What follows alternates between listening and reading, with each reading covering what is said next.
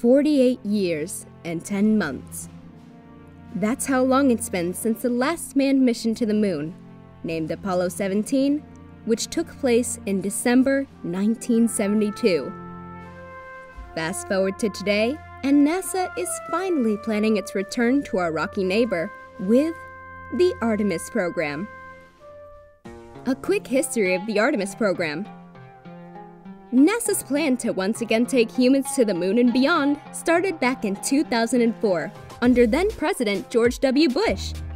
In the years that followed, NASA's efforts have taken several different names. However, now things are getting serious under the name Artemis. Why the name Artemis? Artemis is the Greek goddess of the hunt, the wilderness, wild animals, the moon, and chastity. But crucially, she's also the twin sister of Apollo. The journey to the moon.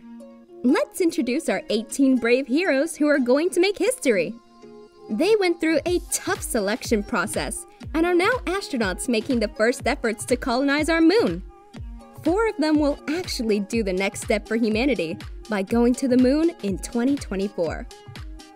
But how will NASA send our heroes to the moon? They will go ahead and board the Orion spacecraft, which is a part of the Space Launch System, a rocket developed by NASA. Now, our astronauts are ready, ready to be shot into space. However, there is one issue. The Orion spacecraft cannot land on the moon, so it can only be used for the first part of the journey. Luckily, there is another hero joining the story Elon Musk. Remember Elon's Starship from our previous video? The Starship will actually wait for our astronauts out there. Two of them will then transfer over from the Orion spacecraft to the Starship and safely travel to the moon's surface in their new spacecraft. So, the Starship is actually something like a space taxi. Landing humans on the moon may seem like a good enough reason for the program, but every program must have an overarching goal. While the original Apollo missions focused on collecting moon rocks, the Artemis program does become way more exciting.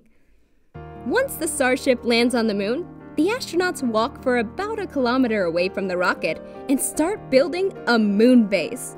This permanent presence on the moon will help us to better predict the impacts of climate change and develop more innovative technologies to explore the lunar surface in greater detail.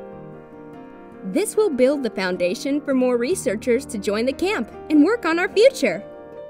And of course, our heroes won't live on the moon forever. After some time, they will walk back to the Starship, fly to their Orion spacecraft, which will then take them back home to their families. And that's great, because there, it will definitely be easier for them to watch and like all the videos that are posted on our channel. Will you do the same?